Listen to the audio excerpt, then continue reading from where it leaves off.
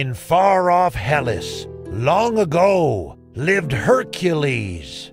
That mighty hero oft did doze to dulcet strains. Upon the harp of fair Megara, loving wife to Hercules. But Hades stole the hero's wife. The muted tone awoke him. Stop, the servant cried, who saw the crime. But Hades had destroyed the path.